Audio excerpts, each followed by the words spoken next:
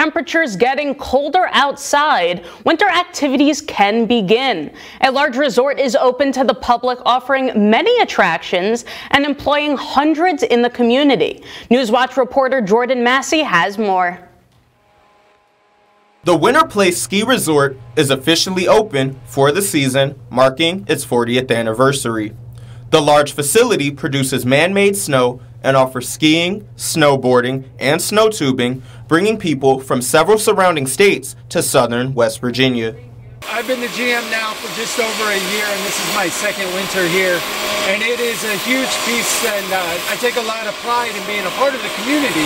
Um, it's wonderful. We bring a lot of people in from out of state, out of town and they're coming here and they're they're staying in hotels, they're going out to dinner, they're shopping local, and it, it's really, really cool to be a big piece of that, especially in the winter.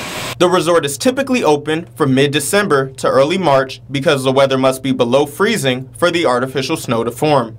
Michaela Jones has been a seasonal employee with Winterplace for the past few years and works another seasonal job with Pipestem Resort State Park during their off-season.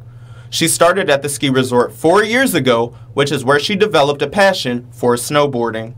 I actually snowboard and I didn't learn until I started working here. I never had any interest and so it definitely helped me pick up. We offer lessons for any employees that are interested in learning.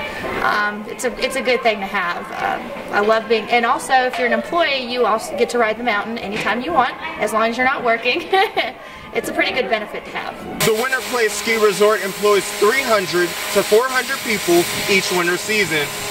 The snow around is 100% man-made, which can't be blown unless the temperature outside is 27 degrees or below.